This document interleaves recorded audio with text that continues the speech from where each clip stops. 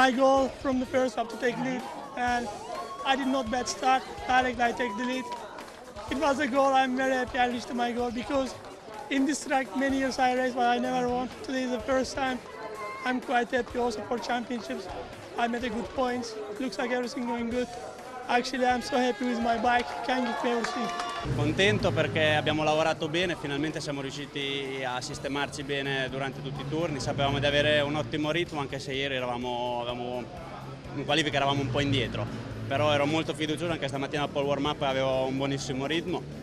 Niente, era, tutto era fare una buona partenza e riuscire a attaccarsi subito davanti, sono riuscito mm, più o meno nell'intento eh, seguire i primi due o tre era veramente impossibile per me, anche perché abbiamo scelto una gomma un po' morbida davanti, quindi a metà gara ho iniziato un po' a remare col davanti, quindi ho dovuto modificare un po' il stile di guida per cercare di, di continuare sul ritmo. Poi ho visto che l'Ous è caduto, la penalizzazione a fuori, ho visto che ero terzo da lì in poi ho cercato di mantenere il ritmo perché più di così realmente era fatica andare, era molto facile andare in terra gli ultimi giri stati duri perché Tamburini stava recuperando qualche decimo giro dopo giro, ho cercato di non fare errori e portare a casa il risultato. Gara molto lunga e difficoltosa questa della Supersport con Kenan Sofoglu che però è riuscito a comandarla dall'inizio alla fine, piegando la resistenza di Jules Clusel che gli è stato dietro tutta la gara fino a tre giri dalla fine quando il pilota turco è riuscito ad allungare quel tanto che bastava per portare a casa una vittoria che è sembrata quasi facile. Secondo appunto il francese che si vede staccare così in campionato di 22 punti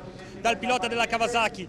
Terzo rimane Sam Loves che però è caduto durante la gara al momento in cui era terzo per il pilota inglese, quindi si fa molto difficile, gara complicatissima per Fabien Fauré che tagliando alla prima variante ha dovuto restituire due posizioni ma i piloti erano troppo lontani, ci ha messo troppo tempo, ha fatto un ride through ed era arrabbiatissimo a fine gara.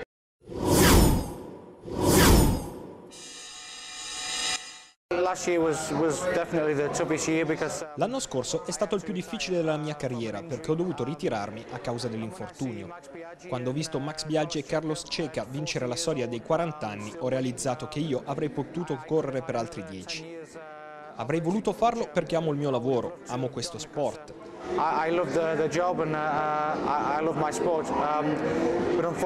Purtroppo però il mio polso non sarebbe più guarito completamente e per me sarebbe stato impossibile continuare a correre. Uh, um, Ho dovuto prendere una decisione. Avrei potuto continuare a guidare, ma non ai livelli desiderati. Uh, È stata una decisione sofferta perché la BMW mi avrebbe confermato, ma sapevo che le mie prestazioni non sarebbero migliorate rispetto all'anno scorso scorso. Sapevo che non avrei più guidato come ho fatto in passato.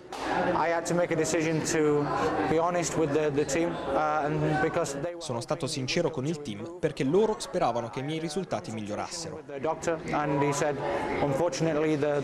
Ho consultato un dottore ma mi ha detto che le ossa del polso non erano nella loro posizione naturale e non era possibile riparare il danno. Ho riflettuto e realizzato che la testa e il cuore erano ancora veloci, ma il polso no.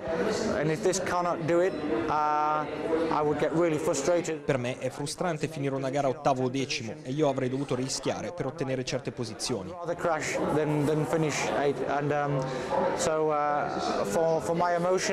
Nella mia mente si sono scontrati i ricordi di una carriera vincente e la realtà in cui dovevo dare il massimo per arrivare decimo, undicesimo o dodicesimo.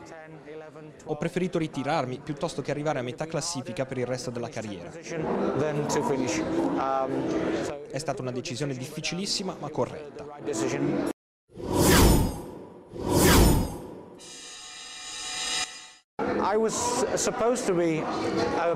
Sarei dovuto essere un musicista da sempre. Mia mamma suona il piano e vengo da una famiglia di musicisti, non di motociclisti.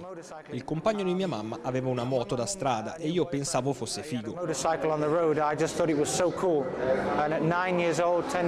Quando avevo 9 anni o 10 mi comprò una mini moto e io iniziai a pensare che fare il musicista non era poi così eccitante. Avevo gli occhiali e suonavo il piano, non ero figo. Ma i miei compagni di scuola pensavano che lo fossi perché avevo solo una moto.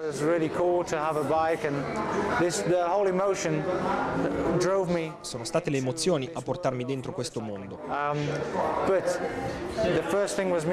La musica è sempre rimasta il mio primo amore, anche quando ho vinto un mondiale con la Castro Londa, continuavo a prendere lezioni a casa. um, Nessuno lo sapeva, fin quando il mio sponsor, la H Plant, mi ha comprato un pianoforte. Steinway piano uh, and because È venuto fuori che ero un pianista e nonostante suonassi da quando avevo sei anni, sono stato costretto a diventare molto più bravo, perché la BBC ha scoperto che suonavo e mi ha chiesto di fare un concerto in diretta. when the BBC and the TV companies found out I played they asked me to play the concerts and so Ho dovuto intensificare le lezioni perché ero bravo, ma non così tanto da suonare davanti a 10.000 persone.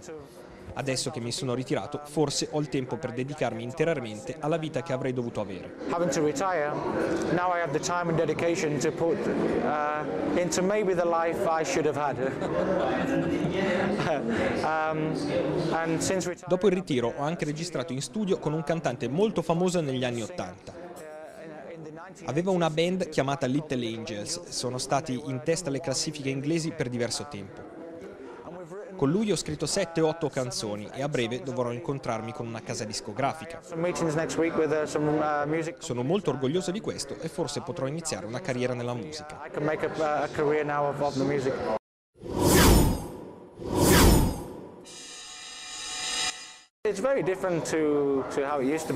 Sto facendo una vita molto diversa. Quando correvo, appena mi svegliavo, pensavo a mettermi in forma, con l'allenamento, ma anche mentalmente. Ero totalmente concentrato sulle gare. Quando sei un atleta non si limita tutto all'allenamento fisico. uh, Rientrano nella preparazione anche il modo di mangiare, di dormire. Ogni secondo della giornata è dedicato all'essere il più veloce possibile in moto.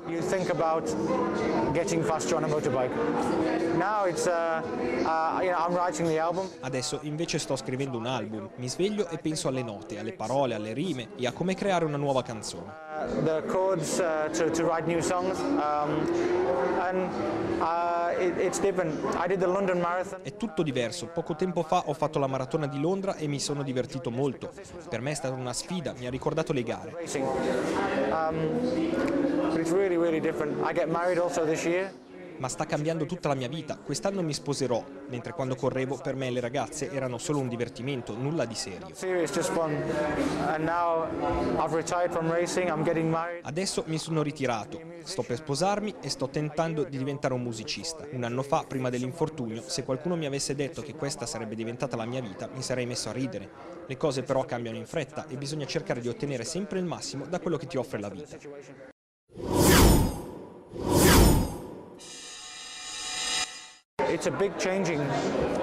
In MotoGP sta cambiando tutto, punto e basta. Sono passati alle 1000 di cilindrata e le CRT sono grosso modo uguali alle Superbike, con l'eccezione del telaio che è un prototipo. Il motore è più o meno lo stesso della Superbike. È un periodo cruciale perché senza grossa copertura televisiva e giornalistica il mondo del motociclismo sta faticando a trovare sponsor. È un periodo cruciale perché senza grossa copertura televisiva e giornalistica il mondo del motociclismo sta faticando a trovare sponsor. Ora è vietato essere sponsorizzati dall'industria del tabacco, ma quando succedeva giravano tantissimi soldi. Questo ha spinto il motociclismo in una situazione finanziaria quasi irreale. La tecnologia e la velocità si sono sviluppate grazie ai soldi del tabacco. Quando questo non è più stato disponibile ci si è trovato in una situazione difficilissima.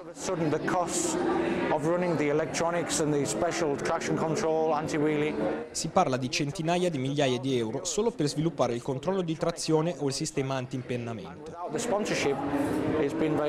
Senza grandi sponsorizzazioni è quasi impossibile. Al giorno d'oggi ci sono moto che non hanno nemmeno uno sponsor. Non saprei dire se la situazione è migliore in Superbike. Le grandi case ormai non vendono quasi più moto sportive, vendono naked o moto da passeggio, qualcosa di più pratico. XR1000 the BMW you know Le case vorrebbero vendere le GSXR o le S1000RR, ma in questo periodo nessuno può permettersi di comprare una moto solo per gioco. La gente ha bisogno di qualcosa che poi utilizza nella quotidianità. Al momento è una situazione difficilissima, spero si trovi un compromesso per andare avanti.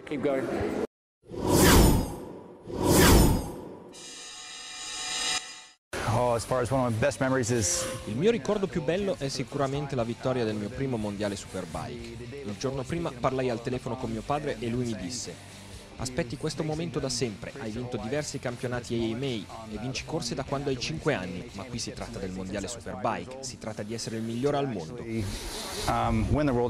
Dopo la gara lo chiamai e gli dissi, avevi ragione papà, dedico quella vittoria ai miei genitori per ringraziarli di tutti gli sforzi fatti per permettermi di arrivare fin lì.